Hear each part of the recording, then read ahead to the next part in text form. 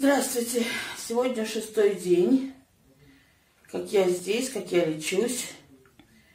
Вчера делали укол в ноги. После этого поднялась температура ночью. Небольшая. Небольшая, 37,4, потом к утру вот 37,5. Днем была вот 37 и 7, 37,9, ну, это небольшая температура. Ой, воду пью.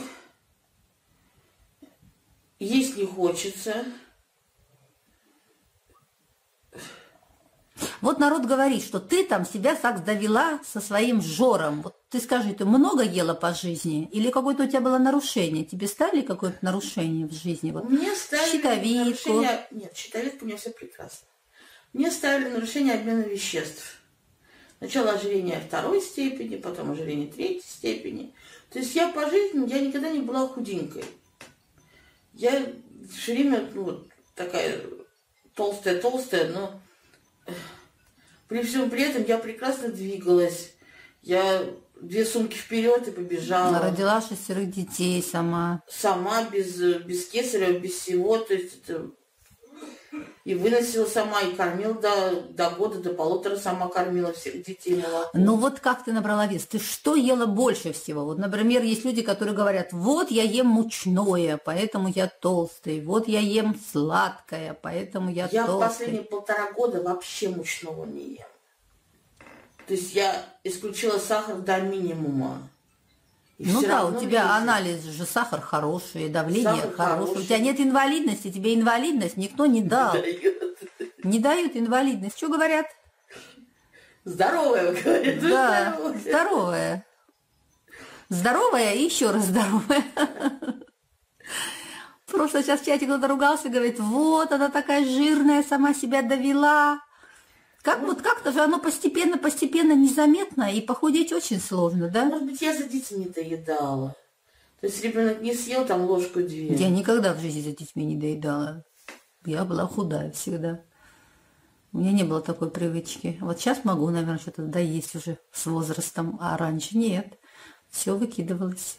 Не, ну вот э, п- сколько положили, столько ребенок должен съесть. То есть я клала небольшие порции. Дети у меня не, не толстые такие вот. У меня последние вообще дети худенькие. Худ- худющие, жутко худющие.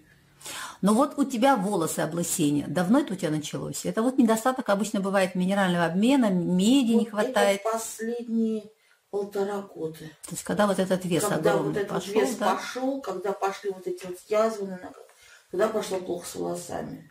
У меня все время была толстая коса, то есть у меня не было вот, вот, вот такая вот толстая коса. Не было такого, что с волосами плохо было. А вот сейчас пошло вот лысина. Ну, зубы у тебя все свои. Зубы все свои. Ну, вот видишь, зубы все свои. Кости ни разу не ломала. Ни разу. Видишь? То есть остеопороза нет. Ничего нет. Ну, сегодня мы тебе сейчас обработаем твои раны. Это вот они еще не обработаны. Мы их помоем, обработаем. Сегодня вот она сидела в экстракте виватона больше часа. Сейчас вот это все обработаем, нанесем повязки и уколем. Сегодня мы тебе уколем только садор и уколем часть вот в эти твои подушки и часть в живот, потому что нам не нужна температура.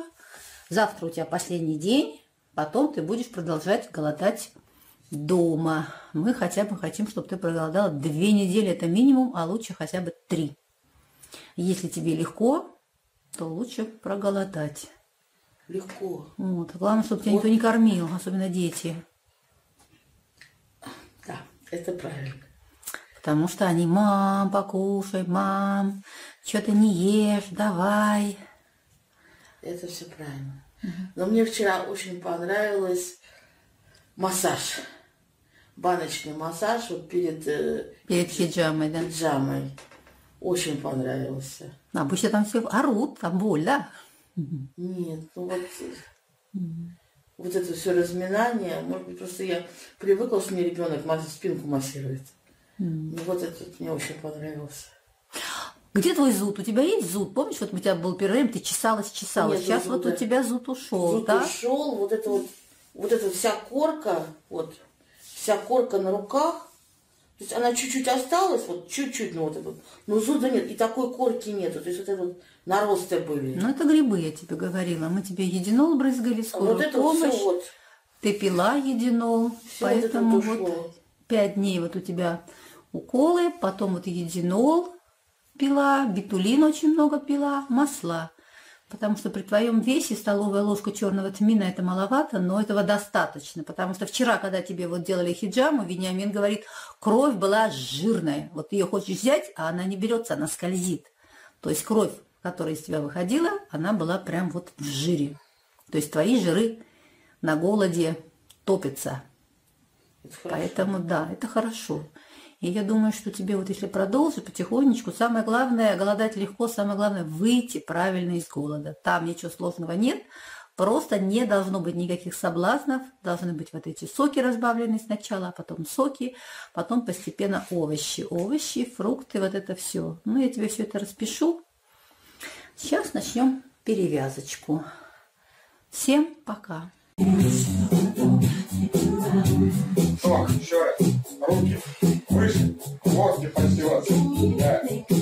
Okay.